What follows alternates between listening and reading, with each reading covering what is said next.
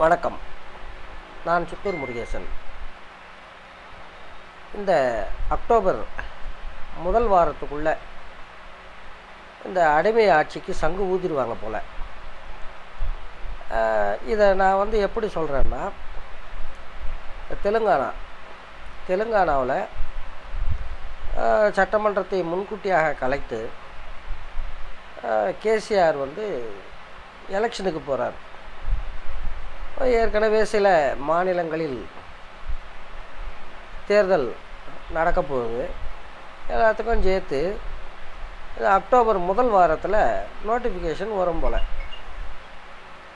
இந்த அடிப்படையில் பார்த்தால் இப்போ வந்து நம்ம உங்கள் விஜயபாஸ்கர் குட்கா புகழ் விஜயபாஸ்கர் அவரை வந்து தில்லிக்கு கூட்டுண்டு போயிருக்காங்க. அங்கே வந்து விசாரிச்சுட்டு அப்படியே அரெஸ்ட்டை பண்ணி நடக்கும். இது எல்லாமே வந்து கேல்குலேஷன் அக்டோபர் முதல் வாரத்தில் இந்த அடிமை ஆட்சி ஒழிய போகுது. நவம்பரில் நவம்பரில் வந்து தேர்தல் வந்துடும் போல். இங்கே இந்த இணைய உடன்பிறப்புகளுக்கு. நான் சொல்கிறது வந்து என்னென்னா இப்போ வந்து நம்ம எழுத்தாளர் விமலாதித்த மாமல்லன் ஒரு போஸ்ட் போட்டிருந்தார். அந்த பாயிண்ட் வந்து எனக்கு ரொம்ப பிடிச்சிருந்தது.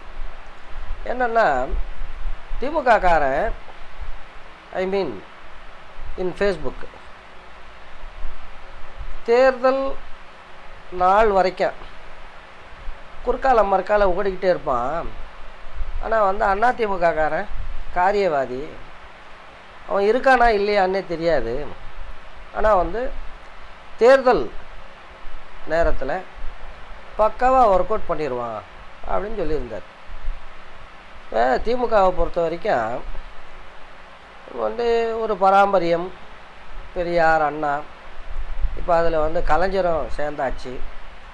கொள்கை இருக்குது வலுவான அமைப்பு இருக்குது எல்லாம் இருக்குது ஆனால் நாம் வந்து வாக்காளர்களை எப்படி ரீச் ஆகிறோம்? அதான் முக்கியம். இப்போ கடந்த தேர்தல்களில் பார்த்தோம். இந்த சம்பரம்பாக்கம் ஏரியை திறந்து விட்டு ஊரே வந்து ஜலசமாதி ஆயிடுச்சு அடுத்து தேர்தல் வருது மறுபடி வந்து ஆயா தான் சிஎம் ஆகுது. நாம் வந்து எங்கே கோட்டை விடுறோம்? அதை வந்து நாம் பார்த்துக்க வேண்டியது ரொம்ப முக்கியம். ஏன்னா இப்போ உங்களை பொறுத்த வரைக்கும் வந்து உங்கள் கட்சி ஜெயிக்கணும். என்னை பொறுத்த வரைக்கும் என்னென்னா இந்த அம்மையார் ஜெயலலிதா காலத்திலிருந்து அரங்கேறிய ஊழல்கள் நிர்வாக சீர்கேடு அந்த ஆங்காரம் அடுத்து வந்து இந்த அடிமைகள் அடிமைகள் அரங்கேற்றிய கூத்துக்கள் இதுக்கெல்லாம் வந்து ஒரு எதிர்வினை இருக்கணும். அப்போ தான் வந்து எதிர்காலத்தில் இந்த மக்களை நம்பி வாக்காளர்களை நம்பி கொள்கையை நம்பி இந்த பராமரியம் வெங்காயம் எல்லாத்தையும் நம்பி எவனாச்சும் வந்து தேர்தல் காலத்துக்கு வருவான். வந்து இந்த இணைய உடன்பிறப்புகள் வந்து டைவர்ட் ஆயிடுறாங்களோ அப்படின்னு சந்தேகமாக இருக்குது இந்த தினகரன். தினகரன் கேஸை வந்து நாம் எப்படி பார்க்கணும்னா ஒரு காலத்தில் வந்து நரசிம்மராவ் காலத்தில். இங்கே உள்ள காங்கிரஸ்காரன்லாம் வந்து அதிமுகவோட கூட்டு கூடவே கூடாது அப்படிங்கிற மூட்டில் இருந்தான். அப்போ நரசிம்மராவ் வந்து காங்கிரஸோட போயிட்டார் கூட்டு. அப்போ காங்கிரஸ் உடஞ்சி தமிழ் மாநில காங்கிரஸ் வருது. அங்கே வந்து என்னடா கேல்குலேஷன்னா தலைவர்கள் எல்லாம் காங்கிரஸில் நின்றுட்டாங்க தொண்டர்கள் இந்த தமாக பக்கம் வந்துட்டாங்க அப்படியாக இன்றைக்கி சுச்சுவேஷன் என்னடான்னா அண்ணா திமுக. அதில் வந்து எல்லாம் வந்து மந்திரி எம்எல்ஏ எம்பி இவங்க தான் இருக்காப்புல இருக்குது இந்த தொண்டர்கள்லாம் வந்து இந்த தினகரன் பக்கம் இருக்காப்புல இருக்குது இப்போ நாம் வந்து டார்கெட் பண்ண வேண்டியது வந்து இந்த தினகரன் தினகரனைத்தான். ஆனால் நம்ம ஆளுங்க வந்து இந்த சீமா திருமுகன் காந்தி அதே போல் இந்த எச்சராஜா தமிழிசை இவங்களையெல்லாம் வந்து டார்கெட் பண்ணிக்கிட்டு சக்தியை வந்து விரயம் பண்ணிக்கிட்டு இருக்காங்கன்னு நினைக்கிறேன். அப்போ இனியாவது அந்த ஏற்கனவே வந்து உடச்சாச்சு. இது இந்த தமிழிசை சீமா இந்த ஃபர்னிச்சரை எல்லாம் உடச்சி தூள் பண்ணியாச்சு. அதனால் கொஞ்சம் லூஸில் விட்டுட்டு இந்த பக்கமும் வரணும். இங்கே வந்து இன்னொரு முக்கியமான பாயிண்ட் வந்து என்னடான்னா எம்ஜிஆர். எம்ஜிஆர் வந்து கலைஞர் ஒரு தீய சக்தி அப்படின்னு சொல்லியாச்சு. இப்போ நாம் போய் இல்லை இல்லை நாங்கள் தீய சக்தி இல்லை.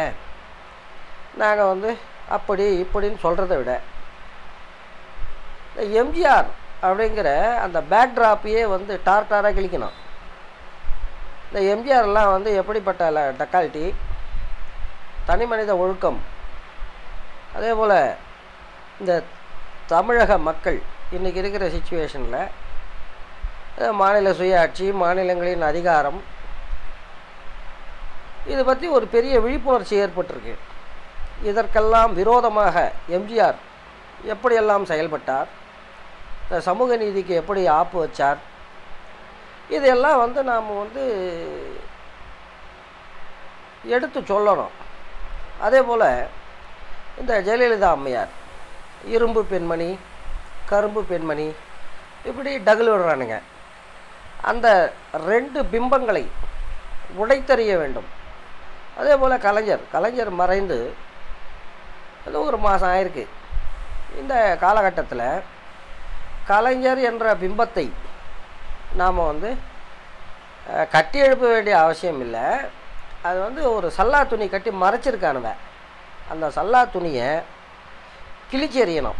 கிழித்தெறிந்து இந்த கலைஞர் என்பவர் எப்படிப்பட்ட ஒரு மிகவும் ஒடுக்கப்பட்ட ஒரு சமூகத்திலிருந்து வந்து இந்த மீடியா லாபிங் பார்ப்பன லாபிங் இதையெல்லாம் மீறி ஒரு மாநில முதல்வராக தனக்கு இருக்கக்கூடிய அந்த அது என்ன சொல்கிறது அதை ஒரு எல்லை கோடு அந்த எல்லை கோட்டுக்குள்ளே எப்படியெல்லாம் விளையாடினார்? இந்த சமூக நீதி ஆகட்டும் இந்த மாநிலங்களின் அதிகாரத்தை காப்பதாகட்டும் அதேபோல் இந்த தாழ்த்தப்பட்ட பிற்படுத்தப்பட்ட மக்களுக்காக எப்படியெல்லாம் ரிஸ்க் எடுத்தார் இந்த மாதிரி விஷயங்களை எல்லாம் வந்து நாம் ஃபோக்கஸ் பண்ண வேண்டிய அவசியம் இருக்குது எனக்கு என்னமோ தோன்றது வந்து என்னடான்னா இன்றைக்கி வந்து அம்மையார் உயிரோடு இல்லை. அதிமுக வந்து ரெண்டாக உடஞ்சிருக்கு. அதனால் வந்து ஈஸியாக அடிச்சுக்கிட்டு வந்துடலாம் அப்படிங்கிற ஒரு ஃபீலில் இருக்காப்புல இருக்குது அந்த வெங்காயம்லாம் ஒன்றும் கிடையாது. ஏன்னா ஒரு பாயிண்ட்டை நல்லா புரிஞ்சுக்கணும். எம்ஜிஆர் காலத்தில் இருந்து அந்த அண்ணா திராவிட முன்னேற்ற கழகம் என்பது ஒரு அடிமை கூடாரம் தான். இது வந்து எடப்பாடிக்கும் எம்ஜிஆருக்கும் பெரிய வித்தியாசம் கிடையாது. இப்போ அன்னைக்கு வந்து இந்த சமூக ஊடகங்கள் இல்லை. அதனால் வந்து வாத்தியார் வந்து எப்படி ஷூட்டிங் ஸ்பாட்டுக்கு யாரையும் விடாமல் டூப்பை போட்டு சீனை போட்டாரோ? அப்படியாகவே தன்னுடைய ஆட்சி காலத்துலேயும் மீடியா மேனேஜ்மெண்ட்டெல்லாம் பக்காவாக பண்ணார். அதனால் எம்ஜிஆர் வேறு எடப்பாடி வேறு அப்படிங்கிற ஒரு மாயை இருக்கிறது. ஆனால் எடப்பாடியும் எம்ஜிஆரும் ஒன்று தான் இதை சொல்லணும். அதே போல் இந்த ஜெயலலிதா அம்மையார் இந்த ஜெயலலிதா அம்மையாரின் ஊழல் ஒரு பக்கம். எப்படி? ஊழல் ஒரு பக்கம். இப்போ லல்லு பிரசாத் யாதவ் கூட ஊழல்வாதி தான்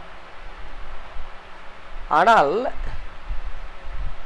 இந்த மாநில உரிமைகள் சமூக நீதி அதே போல் மக்களுக்கு வந்து அவைலபிளாக இருக்கிறது.